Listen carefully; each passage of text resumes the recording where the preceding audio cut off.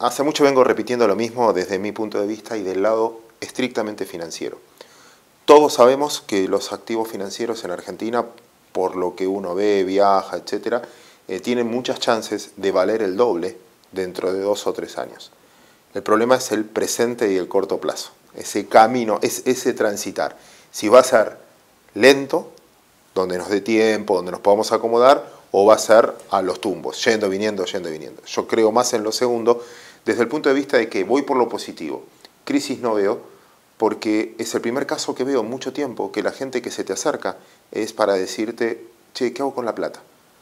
Una crisis se da cuando te preguntan de dónde saco plata, cuando te dicen, tengo tales ahorros, los pongo, espero, depende de quién va a ganar, compro dólares, pero la discusión es dónde posiciono los ahorros.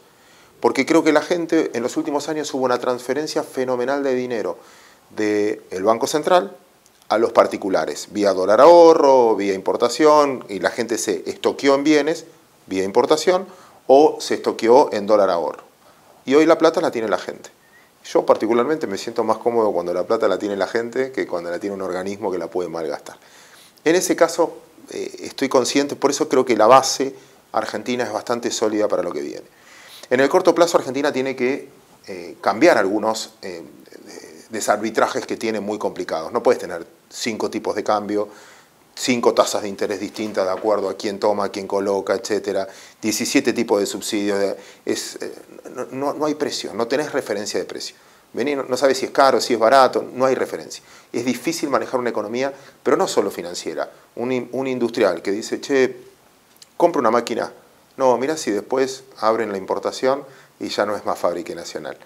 Otro dice, bueno, me dedico a importar. No, mirá si después devalúan y ya no, no me sirve la importación. Como no sabes qué puede pasar, el resumen sería, de acá a diciembre, por lo menos hasta octubre, veo la cosa bastante paralizada.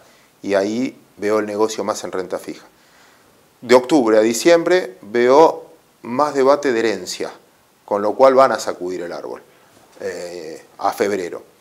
El primer, el primer gobierno que, gane va a tener que, no es que va a venir plata, quizás la expectativa gana a alguien, importa quién sea, expectativa venir un montón de plata. No, vas a tener que resolver temas buitres, vas a tener que resolver muchísimos temas. Para eso necesitas una confianza de la gente muy grande y en eso yo creo que vamos a perder 5 o 6 meses. Eh, por eso soy cauto estos 5 o 6 meses, sabiendo que después hay más plata esperando para hacer negocios que gente esperando vender su negocio. Es, es un lindo desafío para tus televidentes. Encuentre las diferencias económicas entre los tres equipos económicos que parecen ganar. Cuatro equipos económicos que parecen ganar. ¿Con quién habla Scioli? ¿Con quién habla Macri? ¿Con quién habla Massa? ¿Con quién habla Randazzo? No sé, el que quieran. Esto ¿Con quiénes hablan de economía? Bueno, juntan a todos esos y encuentran 10 diferencias.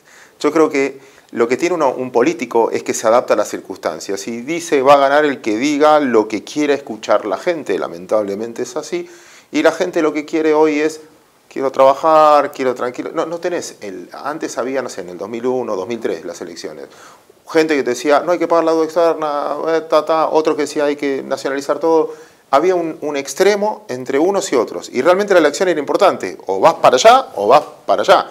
Entonces un inversor dice, ojo, hay 50 probabilidades de que me quede sin nada, 50 probabilidades de que dolaricen todo, no sé, lo que fuera. Eh, hoy no hay ese debate. El, debate no está pasando por acá. Eh, por eso me parece que el que gane eh, también va a marcar la agenda en el mercado. El ejemplo que siempre pongo y es fácil es Brasil. Dilma ganó.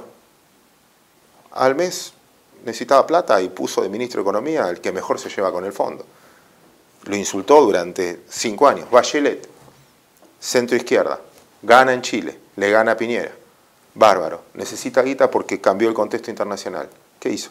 Ministro de Economía, ex empleado del Fondo Monetario, más ligado a Piñera. En el fondo se van adaptando a las circunstancias, por eso me parece que viene una era un poco más pro mercado.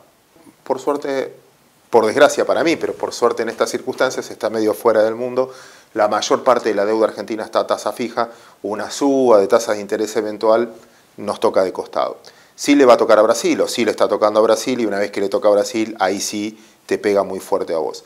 Lo cierto es que me parece que lo que está pasando en el mundo ya forma parte de los precios y lo sabemos la mayoría, todos los que participan en el mercado ya saben eso. Creo que ningún televidente que está mirando ahora desconoce que el dólar se está fortaleciendo en el mundo y cuando se fortalece, se fortalece contra otros activos. Otros activos es el euro, que está en el mínimo de los últimos 10 años, se fortalece contra el petróleo, se fortalece contra la soja, contra el trigo, contra el maíz.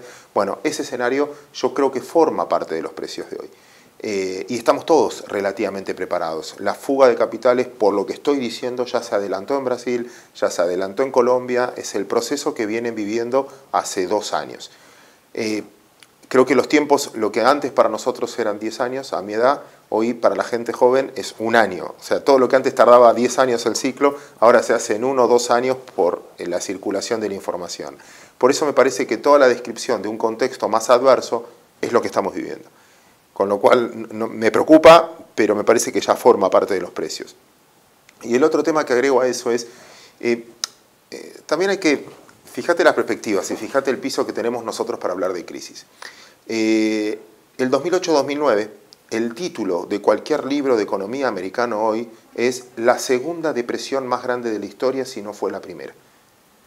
¿Saben cómo le fue al PBI americano 2008-2009? Cayó 3% y nosotros es lo que caímos los últimos cuatro años, promedio de 0, menos 2, más 1, menos 2, los últimos, y, para nosotros es estabilidad y para ellos es la gran crisis. Lo que está viviendo España, lo que vos decías, es inédito para ellos, pero no es que están incendiándose y se van a... No es Argentina 2001 en su parámetro de crisis. España este año va a crecer 3%, con elecciones, con cambio de gobierno, con incertidumbre, con lo que fuera.